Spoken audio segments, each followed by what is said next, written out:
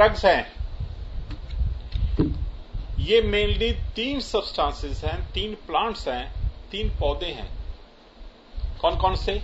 Cannabis cannabis टाइवा से मिलता है। कैनाबिस टाइवा इसका बोटेनिकल नेम है।